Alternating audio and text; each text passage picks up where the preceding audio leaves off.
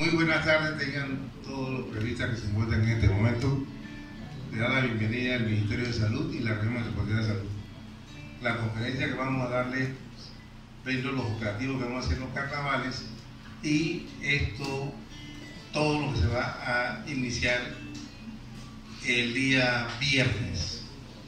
Entonces, le damos la bienvenida a ustedes y que eh, sea de buen agrado y de buena información lo que vamos a informar el día de hoy.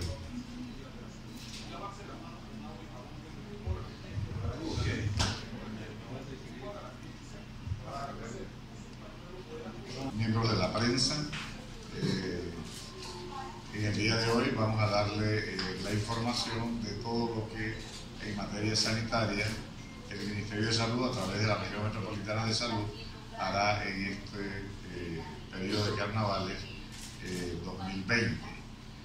Eh, las actividades comenzarán el viernes desde las 4 de la tarde y culminarán el martes a medianoche.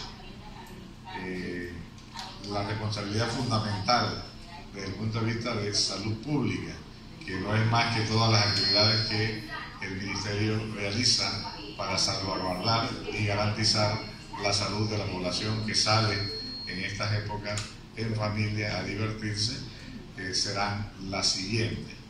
Eh, habrá, previo al, viernes, eh, un saneamiento del el área en donde se van a realizar las actividades. Es decir, habrá nebulizaciones para controlar los vectores mosquitos que pudieran transmitir algún tipo de, de problema o sean molestias y el control de roedores. durante los cinco días de carnaval, fundamental en materia de eh, protección de alimentos será verificar que todas las personas que van a realizar actividades de expendio de alimentos cumplan con los requisitos sanitarios del MINSA. Es decir, todo eh, arrendatario de los 70 puestos que va a haber en la ruta del carnaval tengan los permisos tanto sanitarios como los permisos del municipio.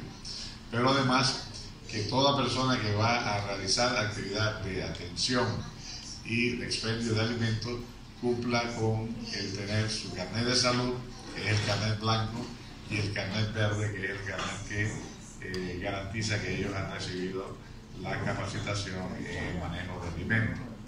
Igualmente, se van a verificar que todos los, la infraestructura que tenga cada uno de esos puestos cumplan con los requisitos de eh, almacenamiento y de conservación de los alimentos. Contestando una pregunta que no me han hecho. Sí, porque ya se han preguntado varias veces. Sí, así es, así es. Es en relación a la alerta sanitaria. La alerta sanitaria del coronavirus. Así es. ¿Y usted como epidemiólogo, doctor, tiene algún informe acerca de cómo está esta situación? En Panamá no hay ningún caso confirmado de esta eh, enfermedad por coronavirus. En este momento ya... Hacemos la vigilancia permanente en todos los puestos de entrada y de salida y no hay en estos momentos ninguna eh, información que preocupe a la población. En otros sitios hay eh, situaciones que se están dando. El Ministerio de Salud tiene voceros autorizados para dar información respecto a la situación global